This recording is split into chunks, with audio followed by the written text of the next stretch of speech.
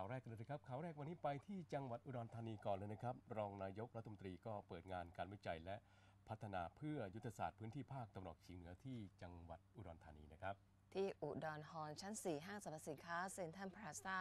จังหวัดอุดรธานีพลอากาศเอกประจินจันตอง รองนายกรัฐมนตรีได้เป็นประธานเปิดงานวิจัยเพื่อยุทธศาสตร์ พื้นที่ภาคตอนออกเฉียงเหนือตอนบนภายใต้แนวคิด วิจัยไขปัญหา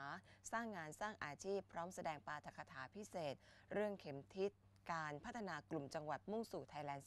4.0 ด้วยผลงานวิจัยและนวัตกรรมโดยมีนายสิทธิชัยจินดาหลวง รองผู้ว่าราชการจังหวัดอุดรธานีกล่าวต้อนรับ และก็ร่วมงานค่ะพลอากาศเอกประจินจั่นตองรองนายกรัฐมนตรีครับก็กล่าวว่าการวิจัยและการพัฒนาต้องคำนึงถึงสิ่งแวดล้อม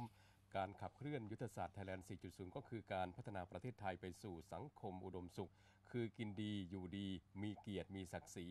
อยู่ในสังคมกว้างอ่าก้าวหน้านะครับ ซึ่งก็จะนำไปสู่การสร้างความเข้มแข็งของเศรษฐกิจสังคม องค์ความรู้บุคลากร สิ่งแวดล้อม ศิลปะวัฒนธรรม ทั้งนี้โครงสร้างพื้นฐานการวิจัยต้องอาศัยสถานศึกษาในการเชื่อมโยงระหว่าง ราชการและประชาชนเพื่อให้เกิดความเข้มแข็งอย่างยั่งยืน และการจัดเวทีแลกเปลี่ยนเรียนรู้ เพื่อผนึกกำลังในการขับเคลื่อนทางยุทธศาสตร์ จุดประกายแตกยอด ให้เกิดการปฏิบัติในภาคปฏิบัติให้มากขึ้นนะครับ